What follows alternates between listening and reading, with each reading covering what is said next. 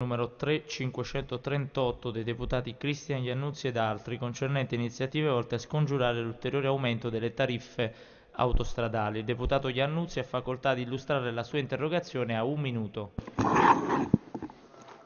Grazie Presidente. Ministro, abbiamo appreso, o meglio lo abbiamo constatato dall'ira dei cittadini che hanno preso l'autostrada in questi giorni, che lei assieme al suo collega Saccomanni avete autorizzato con procedure poco chiare un aumento dei pedaggi autostradali che in alcune tratte superano addirittura l'8%, con un aggravio di costi per le famiglie di circa 87 euro l'anno e aggravi superiori per imprese e autotrasportatori che già sono sottoposti al salasso dell'aumento costante del prezzo dei carburanti.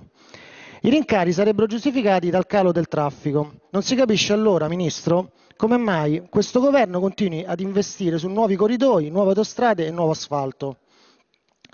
Considerato che questi rincari difficilmente garantiranno dei flussi di traffico maggiori eh, di quelli attuali, le domandiamo quali iniziative intende adottare il Governo al fine di scongiurare ulteriori aumenti delle tariffe autostradali, anche perché se i criteri rimangono questi eh, si prevedono nuovi salassi per i cittadini. Grazie. La ringrazio. Il Ministro delle Infrastrutture e dei Trasporti Maurizio Lupi ha facoltà di rispondere a tre minuti.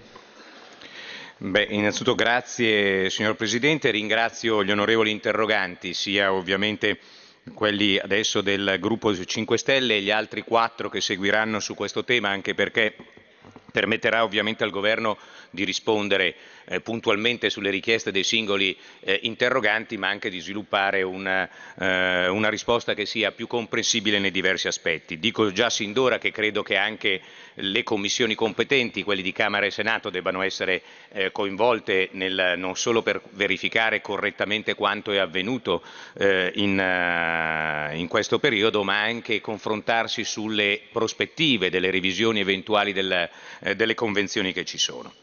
Venendo all'interrogazione dell'onorevole Iannuzzi, eh, vorrei preliminarmente fornire alcuni dati di riferimento, perché forse mi sembra che manchino anche eh, dalle domande poste dal, dall'onorevole interrogante. Innanzitutto la rete autostradale a pedaggio nel nostro Paese si sviluppa per circa 5.800 km ed è eh, assentita a 24 società con 25 rapporti di concessione, ciascuna con una propria scadenza e ciascuna concessione è regolamentata per legge da una concessione e da un contratto.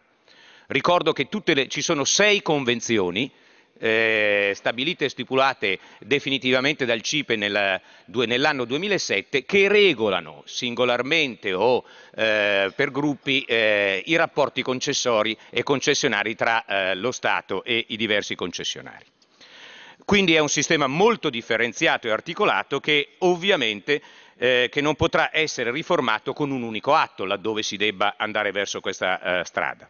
In questo eh, complesso sistema Autostrada per l'Italia SPA gestisce oltre il 50% corrispondente a 2.850,6 km, ma le restanti 23 società gestiscono tratte con un'estensione eh, variabile da un massimo di 300 km fino a 20 km, quindi con una grande eh, frammentazione delle gestioni.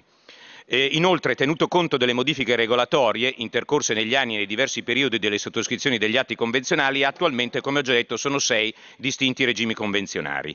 Eh, possiamo dire che tutti i regimi tariffari in vigore sono riconducibili negli elementi essenziali alla formula tariffaria del CIPE 39-2007. L'aggiornamento delle tariffe avviene quindi con periodicità annuale, secondo le modalità e i termini definiti negli atti di convenzione vigenti.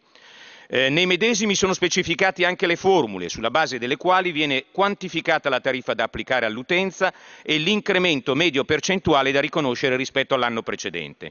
Cambiare unilateralmente i contratti, come fu fatto nel 2006, e eh, comporta gravi conseguenze anche a livello comunitario. Fra l'altro ricordo che anche in quella occasione lo Stato dovette tornare indietro, rimodificando la norma e rinegoziando le convenzioni.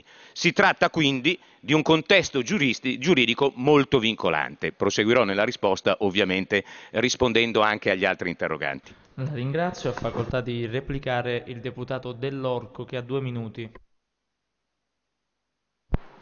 Grazie Presidente. Ora, innanzitutto ringrazio il Ministro Lupi che ci ha fatto un bel elenco delle note del servizio centro studi, lo sapevamo già, però le parole non bastano più. eh, lei oggi doveva prendere un impegno ben preciso di revisione degli aumenti dei pedaggi autostradali, che sono completamente svincolati rispetto al servizio offerto.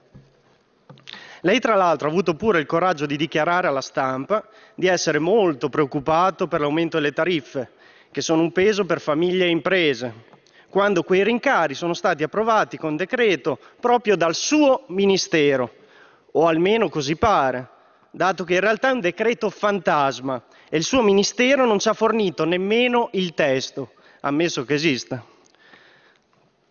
Ministro, lei ci deve spiegare perché le ditte autostradali osano avanzare richieste assurde e perché il governo si stende a tappetino nei loro confronti.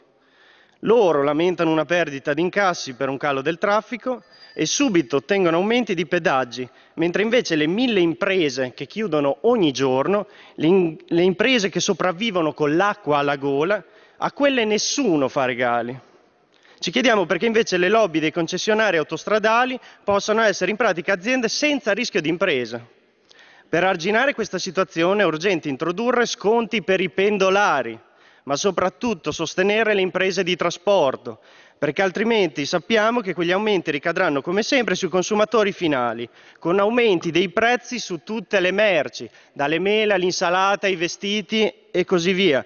È importante iniziare a creare alternative al trasporto merci su gomma, finanziando per esempio misure di ferro bonus, incentivando quindi il trasporto merci su treno. Se non vedremo quindi nei prossimi giorni un suo concreto intervento e soprattutto se non vedremo questo decreto fantasma, segnaleremo l'accaduto all'autorità dei trasporti. Grazie.